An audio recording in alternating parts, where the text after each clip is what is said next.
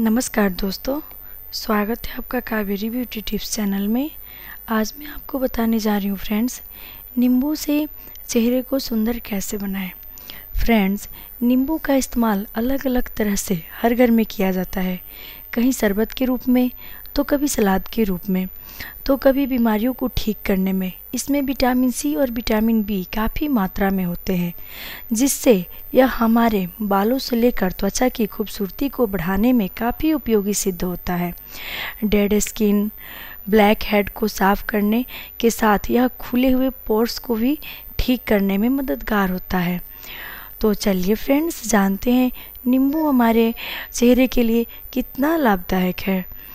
Number one friends अंडे के सफ़ेद भाग में नींबू की कुछ बूंदें मिलाकर इसे चेहरे पर लगाएँ और सूखने दें। फिर इसे पील की तरह चेहरे से निकाल लें और चेहरे को ठंडे पानी से धो लें। इससे आपका चेहरा चमक जाएगा। फ्रेंड्स उम्र बढ़ने के साथ साथ त्वचा पर झुर्रियाँ पड़ने लगती है। जिससे उनके निशान दिखने लगते हैं। नींबू एक अच्छा एंटीऑक्सीडेंट भी है, जो त्वचा की झुर्रियों को भी ख़त्म करता है।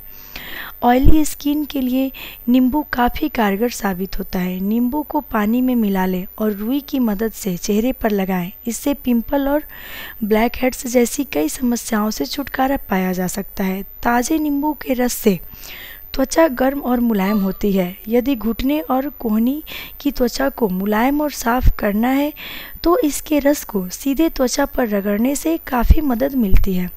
फ्रेंड्स, सूखे और फटे होठ पर नींबू के रस लगाने से काफ़ी फ़ायदा पहुँचता है। आप मलाई और शहद में नींबू का रस मिलाकर प्राकृतिक लिप वाम भी बना सकते हैं।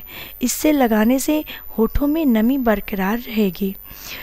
तो चलिए फ्रेंड्स आज के लिए हमारी टिप्स में बस इतना ही। अगर आपको हमारी टिप्स अच्छी लगे तो प्लीज़ मेरे चैनल को like subscribe share and comment करना ना भूलें फ्रेंड्स